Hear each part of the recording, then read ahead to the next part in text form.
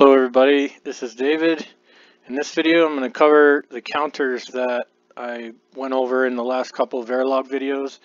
I've got the 4-bit Johnson counter here, two of the LFSRs down here, the XNOR and the XOR version, and then a 4-bit binary counter.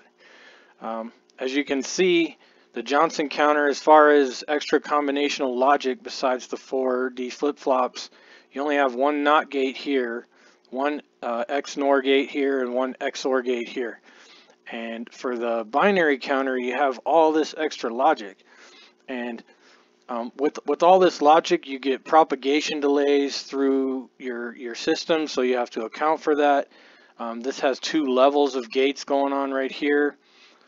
Um, so, and, and you know, of course, the Johnson counter has eight states, so we can reset it. It's already reset, but we can count through and you can see it, the LEDs up top going through just like it did on the FPGA.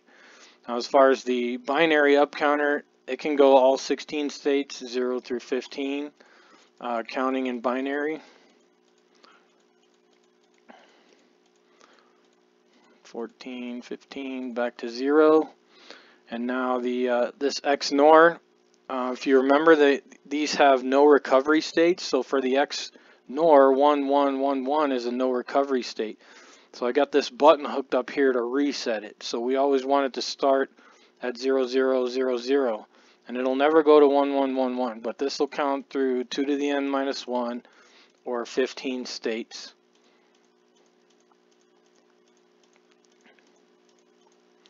back to zero. And then down here, I've got the reset button connected to set each of the registers. Because if you remember, the no recovery state for an XOR is all zeros.